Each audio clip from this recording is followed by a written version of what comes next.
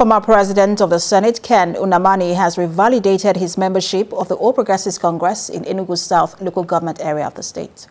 The member of the National Caretaker Committee of the APC Southeast went through the registration formalities in the presence of the chairman panel in charge of Enugu State, Senator Jonathan Zwingina.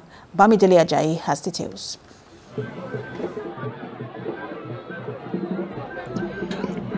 After revalidating his membership card, Ken Nnamani urged the people of the Southeast to take the opportunity of the exercise to join the ruling party in order to attract more development to the zone.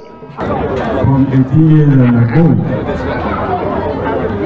let every person from our community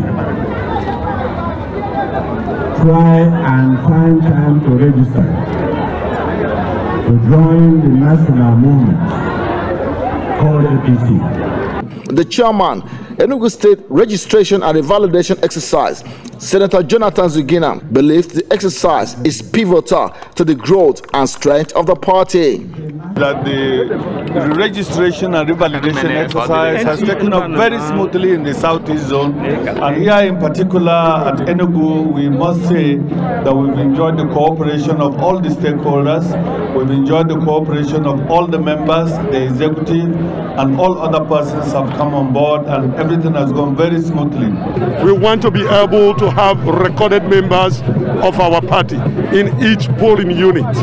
That tells us that if we have 500 people in a polling unit registered to vote and 300 are our members, we expect to win that polling unit. The Minister of Foreign Affairs revalidated his membership of the party at his Amankweke ward in Udi local government area of the state. My fellow uh, Eke citizens that um, we have a lot to be thankful for and grateful for for APC and what APC has done uh, in the last six years.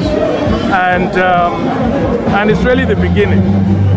They express confidence that the party will have a good run in future elections in the southeast. Bamidele Ajayi, TVC News, Enugu.